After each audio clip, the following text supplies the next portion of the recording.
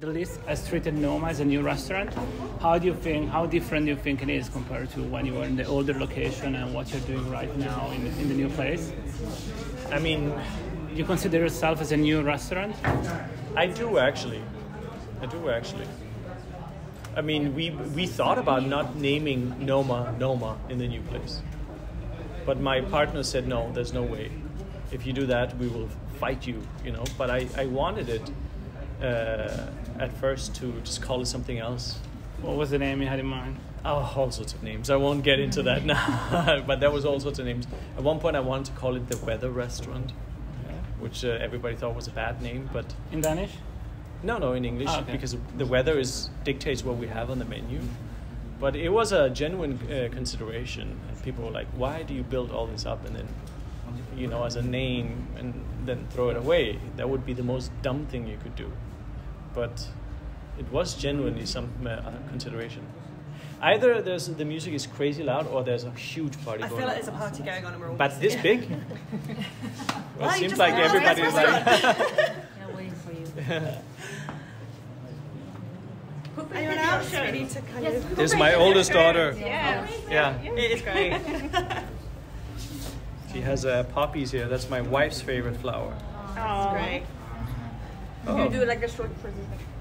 Do like a Superman. Yeah. Yeah. it's about creativity. Yeah. I was gonna wear a tie. As, as yeah, sure. yeah.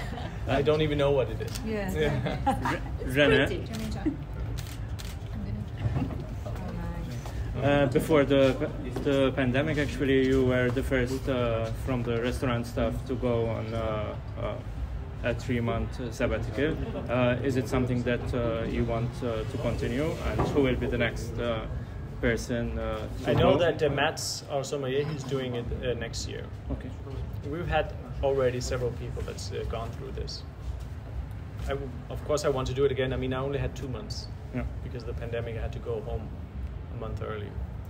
How important was that time for you? Uh, with the with the benefit of hindsight, there was the pandemic that that came, which changed sort of uh, sort of everything. I but mean, if you having a vacation, if you can't allow yourself to take some time off, what the hell is it worth? That's uh, basically the the silver lining behind our decisions, and um, and you know when you have three kids and they grow up and you want to be close to them. My uh, one of my daughters was having a rough moment. It was a perfect time for us to really spend time. Congratulations again. so, um, bringing the new idea or the new value to the culinary world is that still your one of your vision? The new what? New value or new idea to the culinary. New ideas. Yeah. Yeah, of course. Yeah, I, this is where I feel the most comfortable is trying to figure out new ideas. So this is what I this is what fuels me. So normally, where how you get how you gain the new ideas? So from the culture. I, I mean, new ideas. In my opinion, I have a very simple formula for it. That's okay. very, that's very difficult to obtain. Creativity to me starts with uh, knowledge. Okay. Gaining knowledge through traveling, through reading books, watching movies, being very present, observing everything. Mm-hmm. And we typically say that at, at uh, in our creative team, we say for every one idea we have, we need 10 ideas in. Okay. So does that make sense? Yes. So, which means that if you don't allow yourself to fill yourself and allow the time to actually read books or do all these things, you run dry. Yeah, true. And then you start repeating yourself. True. And then you fall. The old steps. Yeah. Okay. So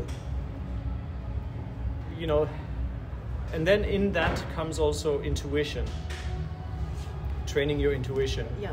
If you if you know when there's something in the present that can fuse with something you've learned, when those two connect, that's creativity, in my opinion. Okay. Being able to organize your mind like a big house. True. And you know exactly, okay, I'm seeing this, and I know now uh, immediately your intuition tells you I'm going to this room yep. for this idea and I'm fusing that. Yes. That's creativity to me. And you need to you need to make decision like you know 0.1 second. But that's intuition. Yes. It's, it's uh, trusting yourself. Yeah. that uh, it's uh, it's that feeling. You know, the sports people they do it. They they know almost where the ball comes before it comes. True, You know? true, true. and um, takes a lot of practice, a lot of training, knowing in the gut what you're gonna do. Okay. Thank you for Yeah.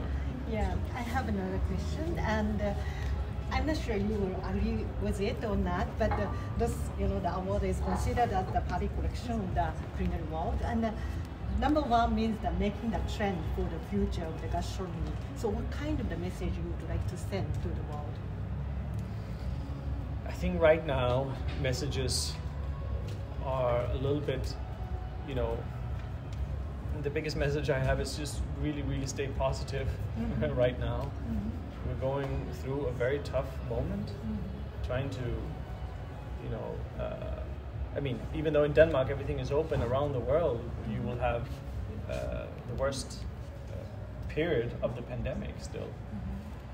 And so, um, staying positive, however, whatever that means, is the most important thing you can have. Mm. Peace of mind. It's the strongest currency, better than Bitcoin. I mean, I'm gonna disappoint you because I don't believe in legacy. Okay. And so, what do you have? What do you want, want people to remember you as? I don't think people will remember anything. Really? No. So Maybe five, ten years after. the Michelin stars, I think if you're Gandhi, they'll remember you. They, they're not gonna remember. You know, I'm, I'm, I'm, sorry to say this, but uh, some of the young cooks we have in our kitchen now, they don't even know who Ferran Adrià is. If you work for Legacy, I believe you are uh, So, what do you work for then? if- not for Legacy. I can tell you that Your much. is It's for- uh, it's. I work. I work to have a create for, for the creativity, I guess, to be part of a of a of an energy that does something special to me. So, No oh, oh, sneezing in pandemic times.